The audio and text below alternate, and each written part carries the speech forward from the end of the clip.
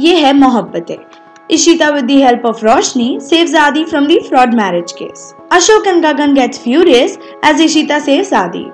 The upcoming episode of the love drama Ye Hai Mohabbatein on Star Plus will witness amazing twists and turns. Ashok and Gagan didn't want Adi to come out of jail. In fact, they wanted him to get punishment for two marriages. So they try to keep Roshni away from the Bhalla family so that no one is able to meet her and prove Adi innocent in the court.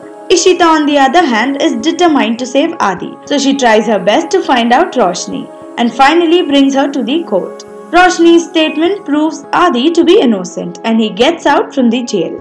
Ashok and Gagan gets furious seeing all this as their plan to get Adi punished fails. It would be interesting to watch as to what would Ashok and Gagan do now.